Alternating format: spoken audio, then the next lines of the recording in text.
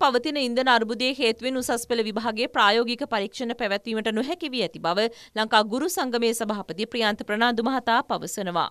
උසස් පෙළ ඇගයීම් කටයුතුත් මේ වෙනකොට ප්‍රායෝගික පරීක්ෂණ පැවැත්වනවා විෂයන් කීපයක. මේ ප්‍රායෝගික පරීක්ෂණ පැවැත්වීමේදී ඇගයීම් මධ්‍යස්ථාන තමන් ඉන්න දිස්ත්‍රීක්කය හෝ ඒ ආසන්න ප්‍රදේශ දෙන්නේ නැහැ. ආසන්න වෙනත් දිස්ත්‍රීක්කයක දෙන්නේ. ඒ වගේම දරුවොත් සහභාගී මේ ඇගයීම් මධ්‍යස්ථාන 43 ගත්තම දැන් මොනරාගල පැවැත්වෙන එකට අම්පාර දිස්ත්‍රික්කයේ සිසුනුත් වෙනවා. එක පැත්තකින් දරුවන්ටත් ප්‍රායෝගික පරීක්ෂණ වලට සහභාගී වෙන්න අමාරුයි. අනිත් පැත්තෙන් ගුරුවරුන්ටත් යන්න ක්‍රමයක් නැහැ. අපි ගුරු සංගමයක් විදියට විභාග කොමසාරිස්වරයා මේ සම්බන්ධව දැනුවත් කරා.